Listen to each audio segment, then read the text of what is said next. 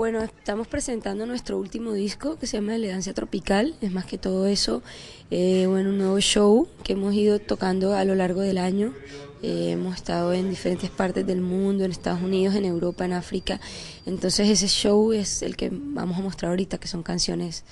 eh, no exactamente nuevas, pero es como un nuevo show. Hay como toda una, mezcla de, lo que es un país, de un país muy rico con, culturalmente, ¿no? Como Colombia, que tiene de todo, tiene una amalgama de, de, música muy, muy fuerte, muy importante, que está teniendo ahorita una, un gran momento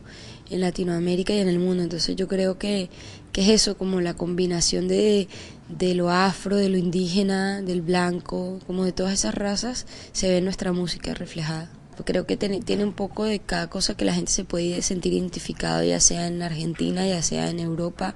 ya sea, no sé, en cualquier parte del mundo, en Asia. Eh,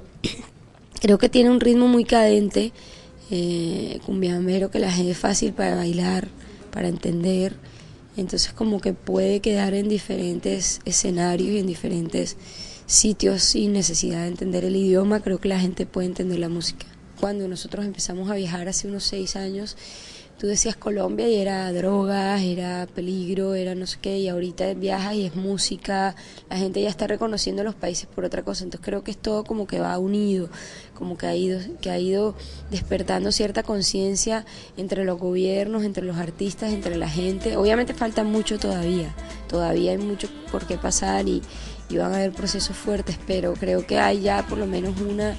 una intención de, unirnos cada vez más.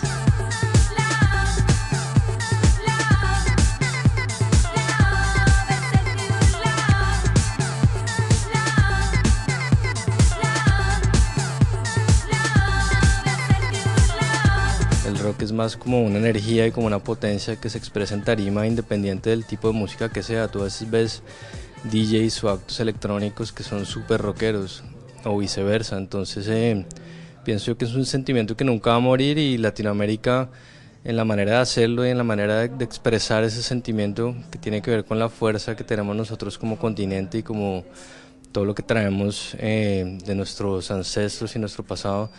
expresa unas nuevas maneras que pueden ser muy rockeras, pero a una manera latina, ¿no? Entonces eso es muy fresco a los ojos de Estados Unidos y Europa, que han sido los que han mandado un poco la tendencia con ese tipo de música. Eh, pienso yo que lo que más nos influencia es como esa esencia africana que hay en la música colombiana y que hay en nuestra música, que es lo que marca un poco la tendencia bailable de esta música y que influencia la música bailable de todo el mundo, desde la música electrónica hasta la música más autóctona y folclórica.